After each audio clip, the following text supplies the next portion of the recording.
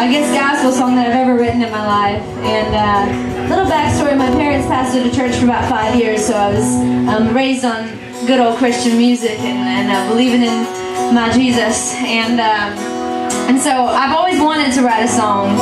And uh, it wasn't until about 21 years old that um, I felt I'd been through enough to really, you know, know what I want to talk about.